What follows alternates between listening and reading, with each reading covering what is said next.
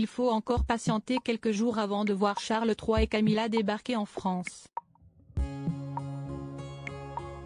Devenu roi à la mort de sa mère Elisabeth II le 8 septembre dernier et bientôt couronné le 6 mai prochain, le roi d'Angleterre effectuera son tout premier voyage officiel en tant que monarque en France, afin de célébrer les relations entre le Royaume-Uni et l'Hexagone. Son arrivée, ainsi que celle de la reine consort Camilla, est prévue ce dimanche 26 mars. Ils resteront sur le territoire jusqu'au mercredi 29 mars, après avoir passé quelques jours dans les villes de Paris et Bordeaux. Le point d'orgue de ce séjour aura lieu lundi prochain, au château de Versailles, d'après ce qu'a indiqué RTL ce mercredi 22 mars.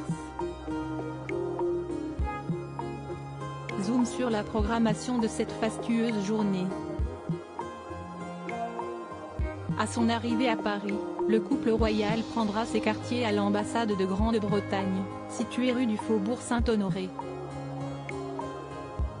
Ils quitteront les lieux dimanche à 19h, pour arriver une demi-heure plus tard à Versailles. Nos confrères précisent que leur convoi traversera la cour d'honneur du château, puis franchira la grille royale qui sera exceptionnellement ouverte pour permettre d'accéder à la cour royale puis à la cour de marbre où le couple royal sera accueilli par Emmanuel et Brigitte Macron. Avec quelques autres 200 invités, parmi lesquels des membres du gouvernement, des artistes, des auteurs, des directeurs de musées, ou encore des entrepreneurs qui travaillent avec le Royaume-Uni, ils assisteront ensuite à un concert de l'orchestre et du chœur de l'Opéra Royal de Versailles. Bien évidemment, l'Angleterre sera mise à l'honneur durant cette représentation et Charles III observera le tout depuis la tribune royale de la chapelle. Au menu, des œuvres de compositeurs britanniques, Henry Purcell, John Blow et le plus célèbre d'entre eux George Friedrich Handel, qui avait composé en 1927 la musique du couronnement du roi George II à Westminster Abbey, détaille le site de la radio. Les convives sont ensuite attendus dans la mythique galerie des glaces pour un dîner, où une impressionnante table de 50 mètres de long sera dressée. Le roi, Camilla, le président et la première dame savoureront le repas dans une vaisselle en porcelaine de Sèvres et se désaltéreront de leur boisson dans du cristal baccarat. Les plus beaux services du palais de l'Élysée seront convoqués à cette table, notamment le fameux service aux oiseaux, réalisé par Duplessis en 1758 sous le règne de Louis XV, terminent nos confrères.